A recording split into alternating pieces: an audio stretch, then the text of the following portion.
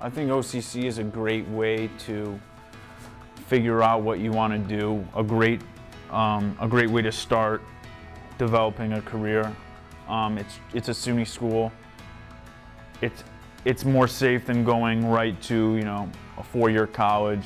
Just the way the campus is set up, it's very well organized. Um, you know everything's pretty easy to find.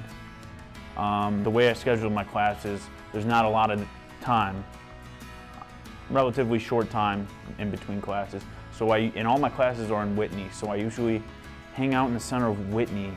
Everything is hands-on, you know. I, that's the way I prefer to learn, and especially with a department like EMC, like when you get into the real world, you're going to be working on equipment and you're going to be editing yourself. You're going to be doing all this yourself. The best thing, the best way to learn is to actually do it instead of getting tests on it. You would be doing it all. Everything they teach you here, you would be literally doing at your job.